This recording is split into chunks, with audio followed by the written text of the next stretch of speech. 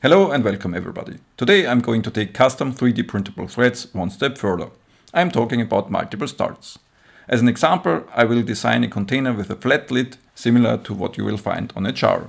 Multiple start threads can be helpful when you have little space available for your thread.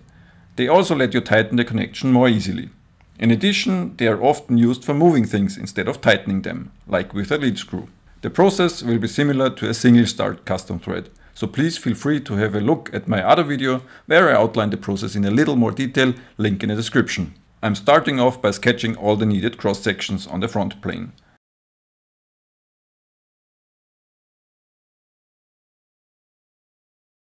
I did four of them.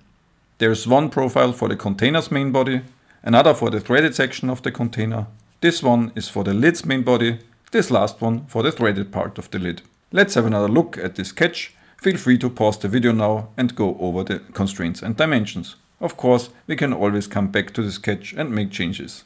Now I revolve each of the profiles I've just described. I choose the new body option every time, then I rename the bodies.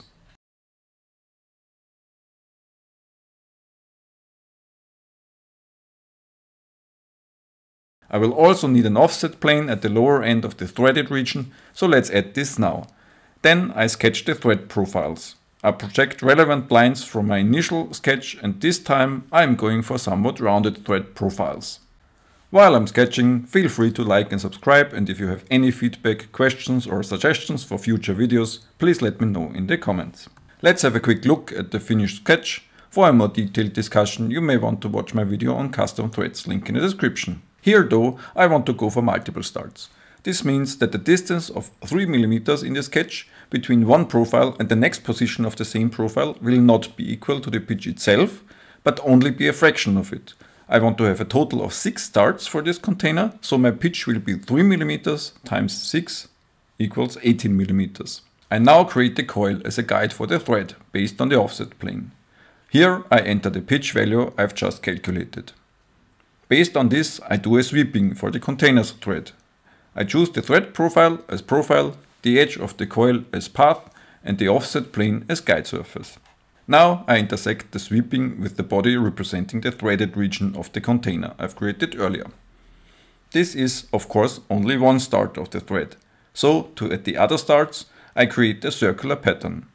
I choose the thread body as object, the axis from the very first sketch as axis and do a full distribution of a total of 6 instances.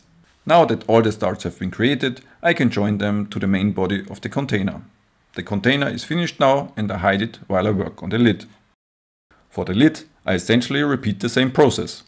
I create the sweeping based on the other thread profile using the same coil and the same guide surface.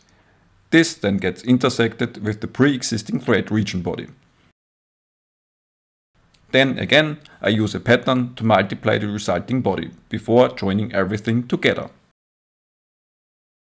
Finally, we can put the bodies in different components and assign colors. I always want to have a final look at the components, so let's hide the lid for a second. The container looks quite nice. If I hide the container, I can investigate the lid, which is fine too.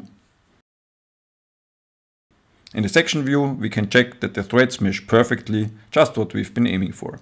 I hope you've enjoyed this video and found it helpful.